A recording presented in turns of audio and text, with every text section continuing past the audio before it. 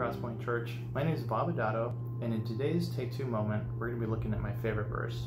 Right now, it's going to be 1 Thessalonians chapter 1, verses 2 and 3. We always thank God for all of you and pray for you constantly. As we pray to our God and Father about you, we think of your faithful work, your loving deeds, and the enduring hope you have because of our Lord Jesus Christ. Now, I just think it's brilliant that the first century church was struggling with getting their needs met. They're struggling with feeling uncomfortable and not knowing what was going to happen the next week, even tomorrow.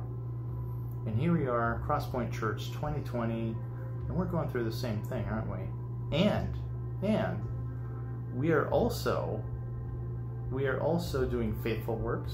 We're also doing loving deeds, and we are encouraging each other with enduring hope in Jesus Christ. I just think that's brilliant.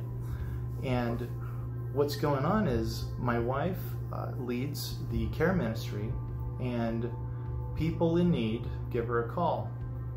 People who want to give give her a call. She works with other people in getting these people connected, just probably like they did back there in the first century church. Now, let me encourage you if you are a giver, you're not sure what to give. Maybe you're sitting there going, I don't have anything to give. I have nothing. I have no money. I have no resources. Well, guess what? God has everything. If you feel in your heart to give, why don't you pray about it? That's all you need to do. Just get on your knees, take a few minutes, just pray. Just today, Lord, what can I do? What can I give? And that's it. Leave it up to Him.